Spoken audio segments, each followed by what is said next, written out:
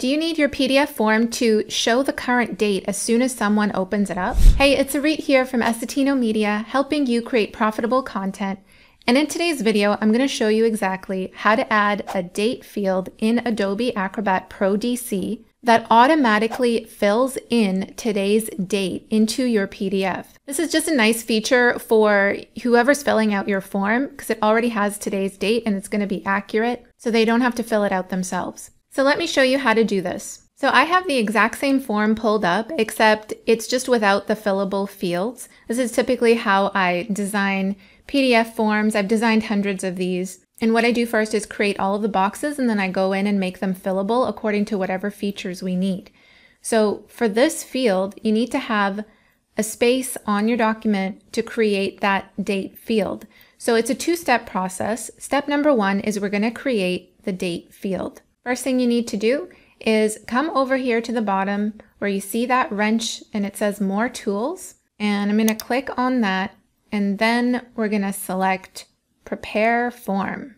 So that should bring in a bunch of editing tools up at the top. If you don't see this here and you just see a button that says edit, then click on edit and it should bring up all of these tools for you. So what we're going to do is create a date field and we don't want to use the original calendar field here. We're going to create it as a text field. This icon right here. So you don't want to use the date um, field right here.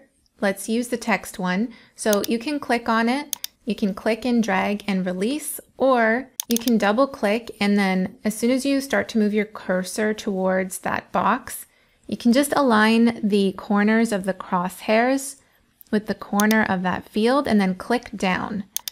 That's kind of the easy way that I use to align the box with the box that's already on the PDF. And then I can just kind of click and drag these little dots, these white dots to make it fit into place. So the next thing you want to do is right click, go to properties, and then in the general tab, we're going to give this a name.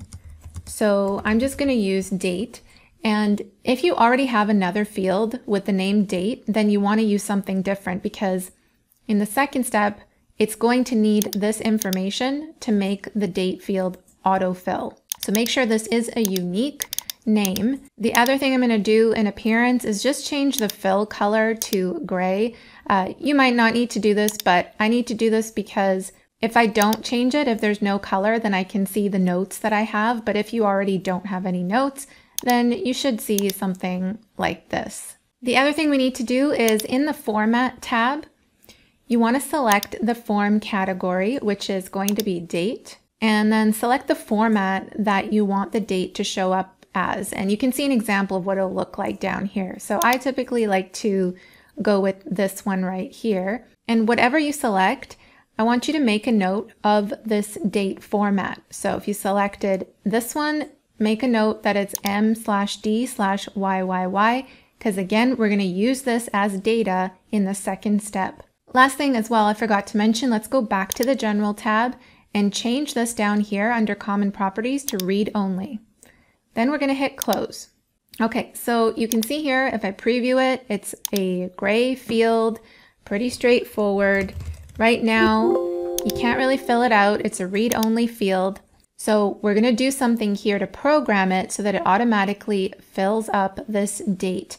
This is step two. So in step two, we're going to add a little bit of JavaScript. Now don't get intimidated or overwhelmed. I am not a JavaScript person when it comes to PDF or JavaScript programmer, but this is super simple. I'm going to give you the JavaScript that you need to paste in on your end. It, it's going to be down in the description below. So you can just copy that and literally paste it right into where I'm going to show you. So I want you to go to View at the top, Show Hide, Navigation Panes, and Page Thumbnails.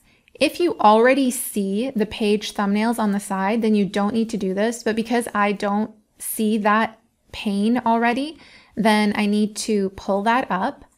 So I'm going to select page thumbnails. It's going to bring this up. So again, if you already see this, you don't need to do that step. You're already here. So what you need to do is right click, select Page Properties, and then go to the Actions tab. If, by the way, you have multiple pages and make sure you're on the page that has the date field, that's the one that you want to right click on to pull up this page properties. So select trigger, we can leave it on page open. Select action, we're going to select all the way down here, run a JavaScript. Click on add, and then it's going to bring up this box. Now, the code that you see in the description is what you're going to paste right here. So copy that text exactly, then come in here, right click, paste, and then it's kind of zoomed in like a lot. It's really big right now. So I'm just gonna make this bigger so we can see, but yours will look smaller. It's just really massive because I'm zoomed in on my laptop. Now, remember those two pieces of data that I told you to keep track of? We're gonna need to switch out this information that's between the quotation marks.